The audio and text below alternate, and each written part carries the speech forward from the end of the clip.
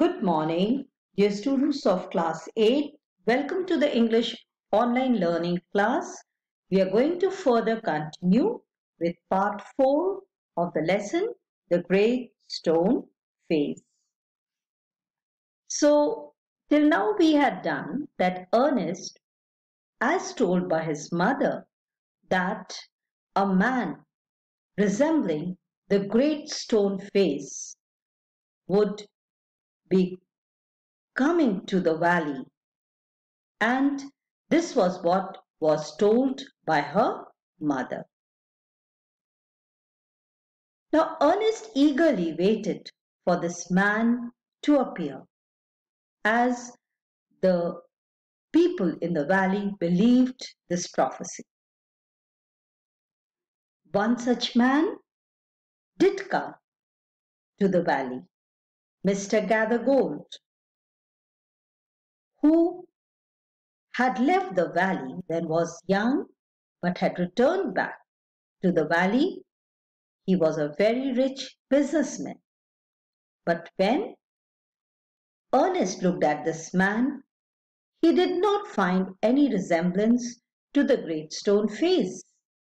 Years rolled by, and Mr. Gathergold also died and now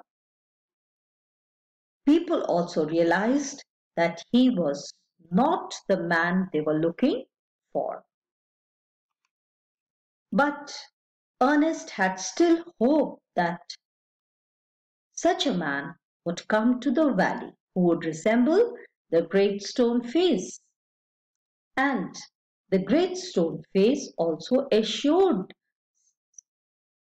to Ernest, this was Ernest thinking that such a man is going to come. Now let us continue further. It so happened that another son of the valley had become a soldier many years before. After a great deal of hard fighting, he was now a famous commander. He was known on the battlefield by the name of Blood and Thunder. Old and tired now, he had lately expressed a desire to return to his native valley.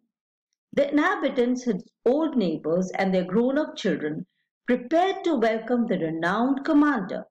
It was being said, at last the likeness of the great stone face had actually appeared. So they thought that this man Blood and Thunder, who had now become old and he was earlier a soldier and now a famous commander and he was returning back to the valley. So people had great hopes and they believed that at last the man resembling the great stone face had actually come to the valley. Great, therefore, was excitement throughout the valley, and many people who had never once thought of glancing at the great stone face now spent much time in gazing at it for the sake of knowing exactly how General Blood and Thunder looked. On the day of the general's arrival, Ernest and all other people of the valley left their work and proceeded to the spot where a great banquet had been prepared.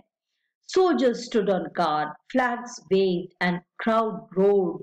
Ernest was standing too far back to see Blood and Thunder's face. However, he could not hear several voices. It's the same face, exactly, cried one man dancing for joy. So there was a lot of crowd to receive Blood and Thunder. Ernest could not see the man because of crowd, but then one man shouted that he is exactly the same man. Wonderfully like, it's that a fact, replied another. And why not, cried a third. He is the greatest man of this and at any other age beyond a doubt. Ernest at last could see the general's face, and the same glance to the side he could also see the great stone face.